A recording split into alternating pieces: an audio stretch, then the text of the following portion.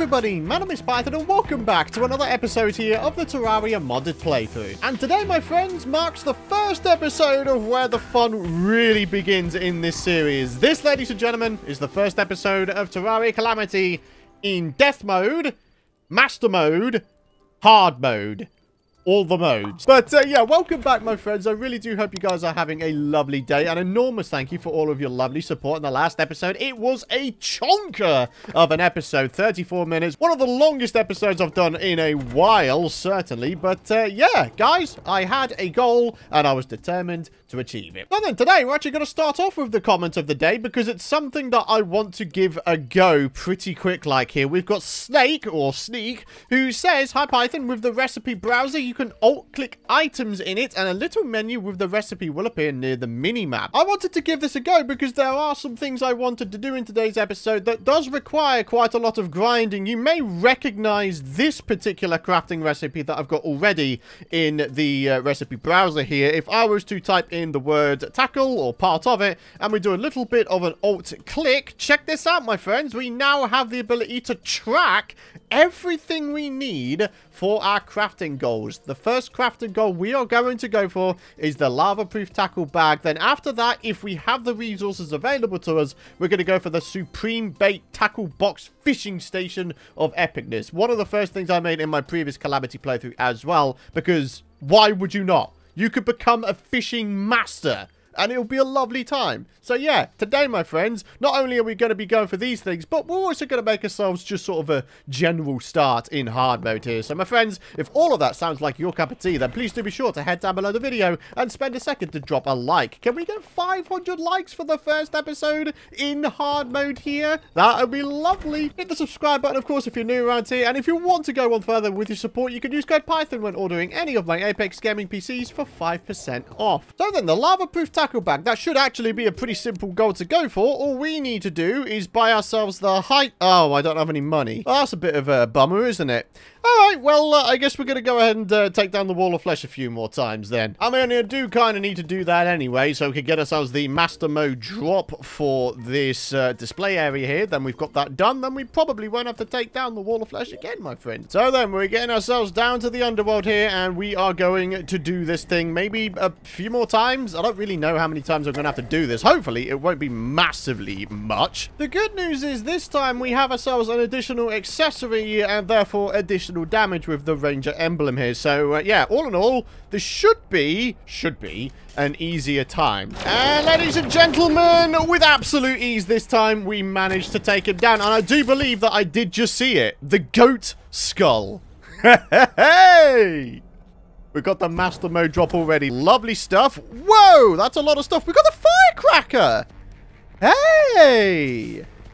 That's pretty good. But uh, yeah, let's be honest, the main article of the matter, the goat skull, yeah, we got it pretty quick. And look at this. We managed to take this guy down really freaking quickly. Like, this is where the first one was taken down, just before the center area, where sort of the end of our buff stations area was. And uh, yeah, this is where we took him down this time additional damage. What can I say? All right. I'm actually pretty happy about that. Let's go ahead and uh, finish off the Wall of Flesh's display area with the goat skull.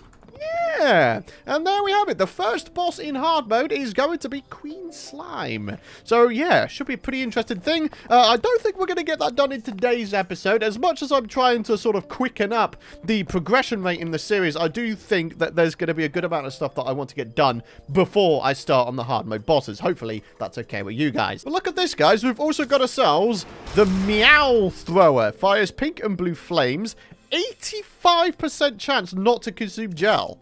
Wow. That is a hell of a potential upgrade to the Shade Thrower, isn't it? Oh, wow. Oh, literally the first Reforged. 92 damage, 33% crit chance. That is a hefty, hefty upgrade. Probably worth mentioning, we also got ourselves the Clockwork Assault Rifle, and it is indeed a material. I'd quite like to see what it's a material for. The Clock Gatlignum. Uh, what? Okay. Requires the Gatligator, the Venus Magnum, the Clockwork Assault Rifle, Life Alloy. Don't even know where you make that or how you make it. What is this? Perennial Bar, Scoria Bar, Cryonic Bar. Later down the line we get that, I imagine. Ah, interesting. Check this out, guys. It turns out the Black Hawk remote is also a material.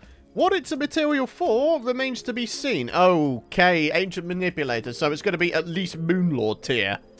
Wow, the Tactical Plague Engine. oh yeah, for any of you guys wondering why I don't have a great deal of money anymore, I decided to purchase a few new permanent buffs. Uh, and, well, as you can see, we have them all in my inventory here. We've got Yharim Stimulant, amongst other things. Rage, Wrath, Inferno, Life Force as well. So, actually, we've got 480 health right now.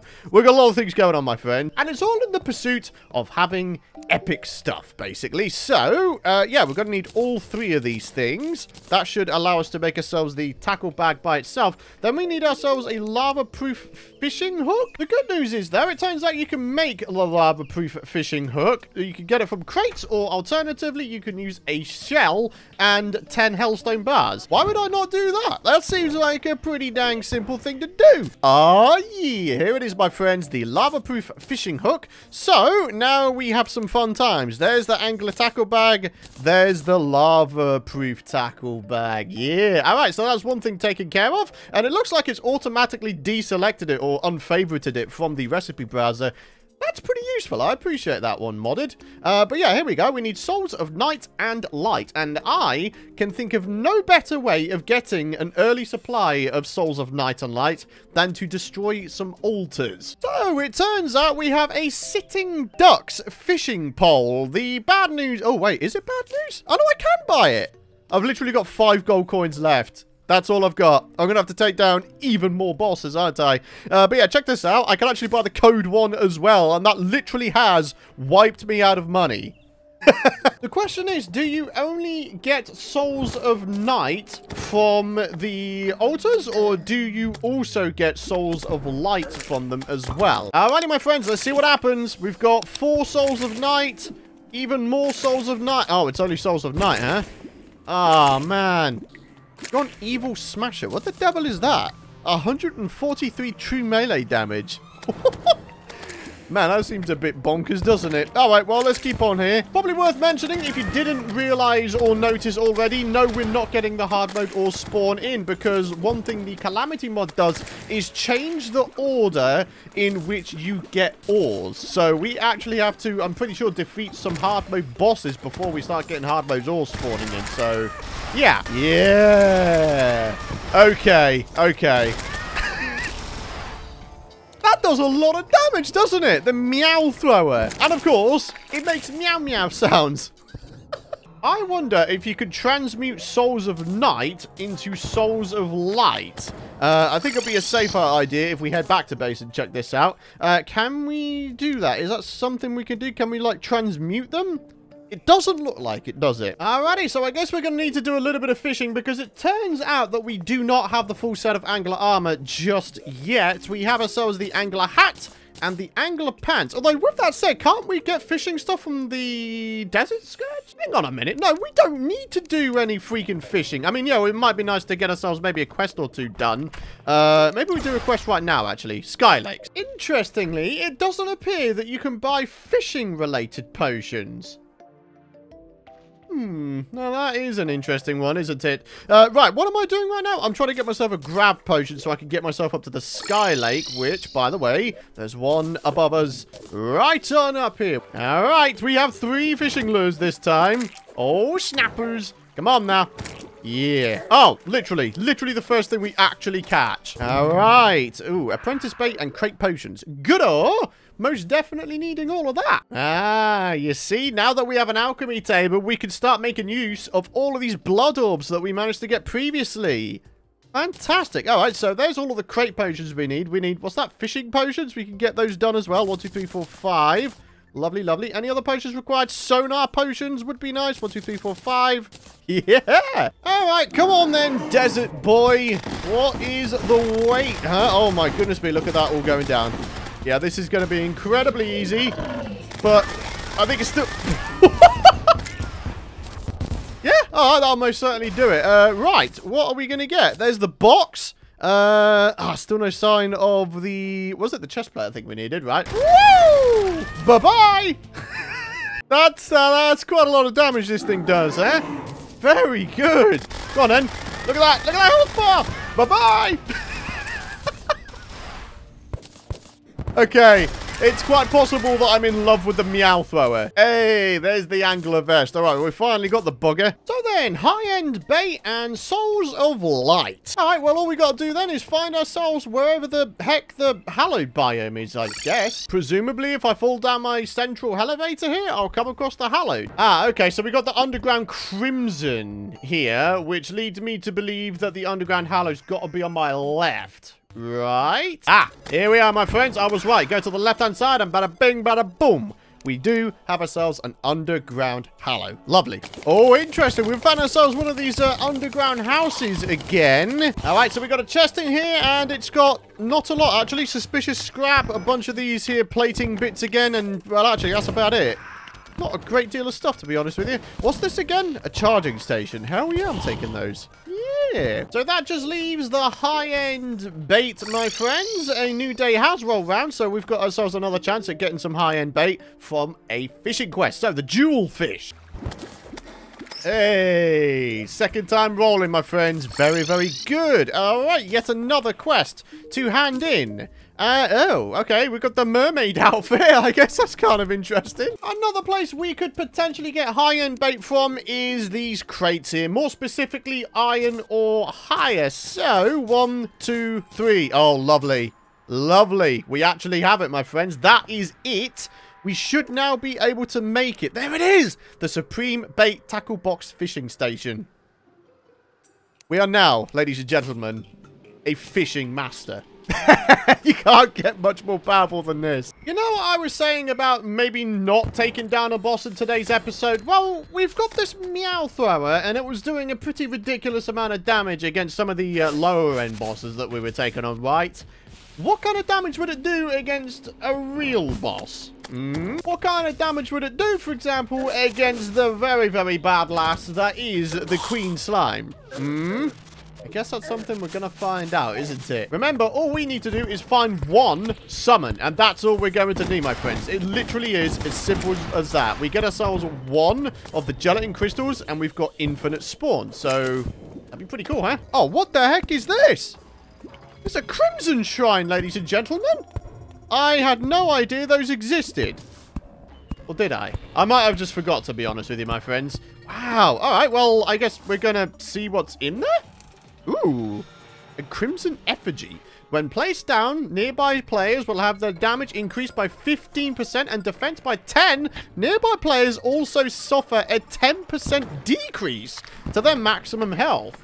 Ooh, so it's very much an offensive defensive thing, but also it harms you a little bit. I think it's really, really good that these buff stations and various other bits and bobs in this mod do have trade-offs, you know? You have to trade off having a buff with having a bit of a debuff sometimes, and I think that's really, really good. It makes the balancing of this mod very, very good. Hey guys, so check this out. Turns out we can combine quite a lot of our various crafting stations together, right? We've got the Hellforge, Alchemy Table, Tinkerer's Workshop, Imbuing Station, Dye Vat. We've got the Living Wood loom, the glass kiln, ice machine, honey dispenser. Oh, good grief. That is a lot of stuff. okay. We could make this super crafting station if we really wanted to. Maybe I'll go ahead and put that on the favorites menu here. Alright, best way to look for gelatin crystals is to zoom all the way out and just sort of hope for the best, I guess. I wonder what we can do against the hallowed mimic here. There's one right here.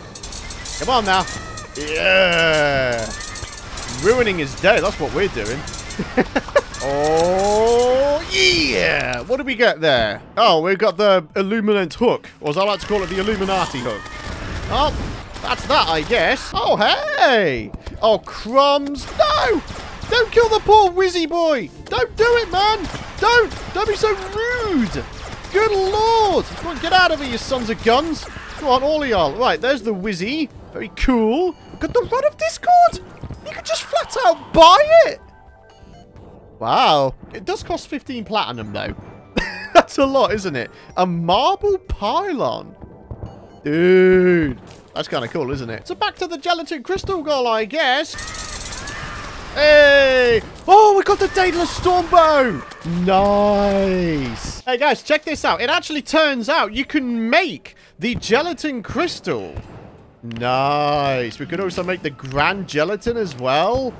Ooh, snappers. All right, we need the three kinds of jelly. There's the mana jelly. There's the vital jelly. Uh, wait, do we not have the red one? Or maybe it's in this one. Ah, you seriously telling me I don't have the red jelly? Pink jellyfish is apparently where we get the life jelly from, so if we could get one or two of those dudes spawning, that would be lovely. I wonder if there's anything down in this sort of additional section of the ocean. It goes down very, very deep, doesn't it? Uh, right, I could do with maybe just a little bit of... There we are. A little bit of breath. That's what's needed. Ah, okay, maybe not. Eh, bit disappointing, but uh, never mind. All is well. All we need at this point is some more of these little jelly dudes. Come on now. Hey, life jelly. That's all we needed. Oh, we need ourselves a mithril anvil though, don't we? Ah, crumbs. Oh, no. Okay, turns out you can make it here. Nice. All right. 20 max life and mana, 10% increased movement and jump speed, standing still, boosts life and mana regen. This seems like a good thing to have. So now we've got 500 life if we take off the stinger necklace. Do we really want to do that, though? Don't know, man. Maybe we put the stinger necklace in place of the jelly charged battery? Sure. Sure, that seems like an alright idea. Alright, ladies and gentlemen. So, the next thing is pink gel and some crystal shards, and then we should be able to make ourselves the gelatin crystal at, I believe, an anvil? Or a solidifier, actually, I think it said, right? Oh, I was right. It was solidifier. My memory was right for once. Would you have ever guessed that that would ever be the case? Ultima Cake grants special effects of almost all stations simultaneously. Includes campfire, lamps, bast statue, sharpening station, ammo box, crystal ball slice of cake, and bewitching table. By some unimaginable magic, it will never be consumed. It's a non-calamity buff item, though. Also, I can't afford it, so uh, yeah, that's a rather more basic reason as to why I can't get it. Ah, cool. Check this out, guys. You could just flat out summon in mimics, and hallowed mimics for that matter. Ooh, very cool. Okay, right, what am I looking for? I'm looking more so for these, actually. Nice. We need, what, to get ourselves up to 20. They are a bit on the expensive side, I have to admit. But uh, never mind. Ladies and gentlemen, we're going to make this thing and we are going to give it a go. There it is. Non-consumable gelatin crystal. I must confess, if I manage to do this first time, I'm going to be genuinely surprised because I've had a very checkered past with Queen Slime in the past. She has literally made me rage quit an entire series once. So um, yes. Presumably my Hallow must be sort of intersecting this jungle, right? Since the underground Hallow was on the left-hand side. Ah, here we go. Yeah, yeah, yeah. The thing has changed. Right. Okay. Uh, can we do this without an arena? I've no idea. Let's go ahead and take ourselves a burger. And, uh, ladies and gentlemen, here we are. Queenie. The Queenie. We're to... Oh, okay. She's a little bit berserk, but no matter. Yeah. Oh! That's quite a lot of projectiles she just spurted out there. Ooh! Gotta be careful. Gotta be careful, eh? Alright. Okay. Oh, still trying to figure out her attacks. Every now and again, she just shoots out a big old spurt of projectiles. Oh, I just got cornered. That's not great now, is it? Come on. Come on. If we could, like, get you to, like, come over here, that would be great. Yeah. All right, a little bit of rage effect. Oh, yeah. Very good. All right, not doing too bad, eh? Okay. Still doing reasonably all right. There she goes with her projectiles again. Oh, man. I do like this Meow Thrower. It's doing the job really nicely. Any minute now, it's just going to go second phase, and that's where things start getting a little bit hairy. Okay. Come on now, you need to stay sort of reasonably within my range here. There we are. A little bit of that. Oh, yeah. Oh, yeah. Very good. Okay. We actually got adrenaline there, guys. Hey? That's not bad. And some more rage. We're about to head back to base, apparently. it turns out this is incredibly easy. Unless there is a hidden attack to be had a little bit later down the line. It's entirely possible this is death mode at the end of the day. But, um, ladies and gentlemen, I mean, come on, if we manage to do this first time without any proper preparations, then uh, surely that deserves a like rating. Come on. Oh, I almost died, though, actually. Now be careful. Don't die, don't die, don't die! first time. Guys, This is supposed to be Master Mode, Death Mode, Hard Mode. Okay, sure. That was uh, easy as pie, actually. Wow. We could quite easily do that again. But, my friends, I think what we're actually going to do is uh, wrap up the episode. Next episode, we will absolutely go for Queen Slime's Master Mode drop and whatever other drops she may have to offer. But, uh, yeah. I, I, I, have no words. Like, we just did that first time without any real arena or any real preparations, to be honest with you. I like it when I can absolutely tank a freaking boss first time. Makes me feel good about myself, you know? I mean, to be honest, we're going to need to take down this gal again anyway, because we need ourselves the last bit of Crystal Assassin armor, don't we? Uh, and obviously the Master Mode drop, like I was saying. But one thing I did notice is the fact that we did not get a lore item from Queen Slime, so that is something to bear in mind. But here's the good news. We've already managed to get a mask from her. And who was the other boss who did have a lore item. I think it was Deerclops, wasn't it? And then, yeah, we just got ourselves sort of the mask instead. So, yeah, okay. I'm, I'm pretty happy with using a mask and a master mode drop for Queen Slime's uh, little display area there.